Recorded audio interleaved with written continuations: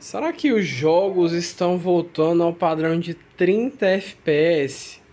Eis a questão. Durante muito tempo, né, a gente percebe até no PS3, né, que os jogos eram todos a 30 FPS. A gente tem um caso, por exemplo, do The Last of Us no PS3 que era cravadinho em 30 FPS e com o lançamento aí do PlayStation 5 e do Xbox Series, os jogos ganharam modo performance e saíram dos 30 FPS.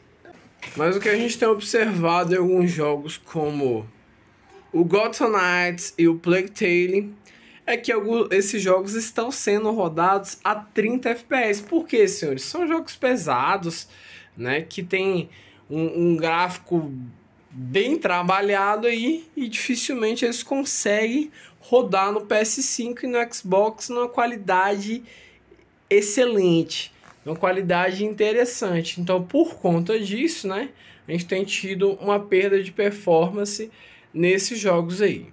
Para a empresa e a Digital Foundry, eles acreditam que dificilmente os jogos vão vir, né, a 60 FPS, tendo em vista a qualidade dos jogos, o que os, os jogos estão oferecendo. A questão dos primeiros jogos vinha a 60 FPS, né, que é uma questão é, importante aqui frisar, é por conta que muitos jogos eram do PS4, eram do Xbox One e eles vieram melhorados aí para a, a próxima geração. Mas como a gente está com novos jogos, novos engines, né, a gente está tendo dificuldade de rodar esses jogos a 60 FPS.